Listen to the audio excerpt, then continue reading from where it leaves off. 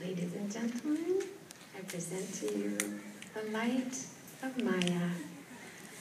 And when Maiya grows up, she wants to be, no surprise either, a singer.